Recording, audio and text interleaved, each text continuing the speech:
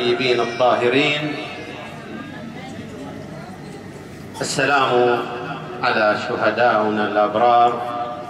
السلام على آباء الشهداء. السلام على أمهات الشهداء. السلام على معتقلينا الرازحين خلف قضبان السجون. السلام على الأحرار والحرائر. السلام على الشرفاء في هذا الوطن. السلام عليكم جميعا أيها الحضور من عوائل الشهداء وعوائل المعتقلين ورحمة الله وبركاته. اليوم طبعا زيارتنا هي زيارة قد تعتبر استثنائية. اليوم الزيارة هي فرح بعنوان الفرح.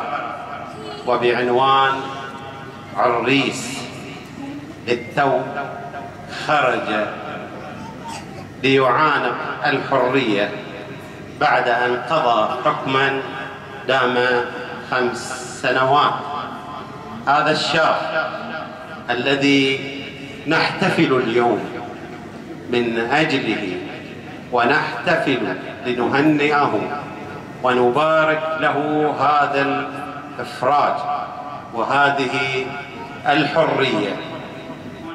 ألف ألف تحية لكل زوجة صبرت هذه السنوات وهي تنتظر هذا الزوج الذي سيخرج بعد معاناة. ولكن صدقوني بأن معاناة الزوجة هي المعاناة. التي يحيطها الألم وهي تنتظر وصابرة ومحتسبة فتقدير المرأة هنا في هذا الجانب تقدير مهم جدا.